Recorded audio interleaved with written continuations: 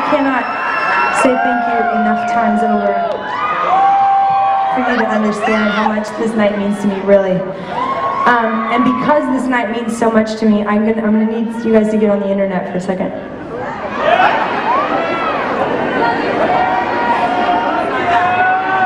I have a lottery ticket.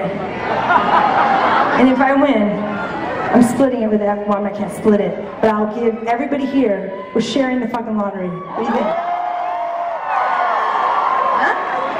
But I need you to look up the numbers for me.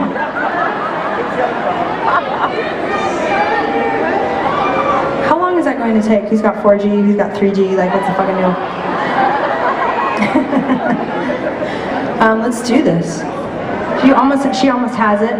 Whenever anybody gets it, you just throw up a flare or something. You have it? Wait.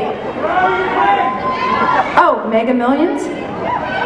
California Lottery?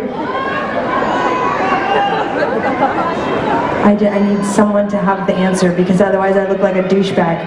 Okay, you have the answer. Let yell it out. Four. Fuck. No, I just swear out.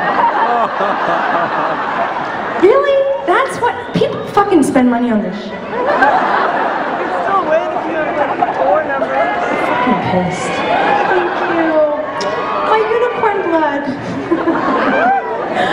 You guys are so so sweet. Um, I would I would like to invite out on the stage two of my dear, sweet, lovely lady friends. Um, that we're going to sing a song for you. Miss Holly Conlan and Miss Laura Jansen.